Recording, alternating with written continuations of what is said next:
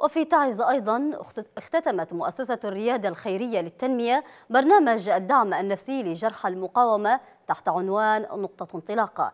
ويأتي البرنامج ضمن مجموعة من الأنشطة التي تقوم بها منظمات المجتمع المدني لرعاية الجرحى والتخفيف من معاناتهم. متكئون أو على كراس متحركة يجلسون أو على العكازات هم يستندون.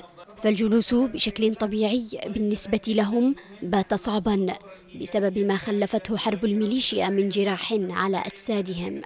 في هذه القاعة التي تختتم فيها المؤسسة الرائدة للتنمية برنامج الدعم النفسي لجرح المقاومة في تعز.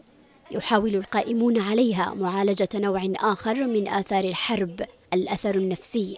اليوم نختتم المرحلة الثانية بتخريج 21 جريح من جرحى الحرب في تعز.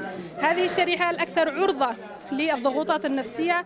مشاهد الحرب لم تبقى حاضرة في ذاكرتهم وعيونهم فقط بل أنها ما زالت تتكرر ويعايشونها يوميا مما يجعلهم بحاجة لمثل هذه التدخلات الطارئة للتخفيف من آثارها والحيلولة دون تحقق غاية الميليشيا بإضعافهم.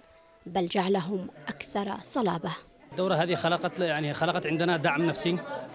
يعني خلقت عندنا إصرار وعزيمة على تحدي كل إعاقة. تكاليف الحرب باهظة ومرهقة خصوصا لأولئك الذين كان نصيبهم منها الإعاقة. فحتى وإن توقفت الحرب فجراحهم ستحيي ذكراها كلما تناسوها.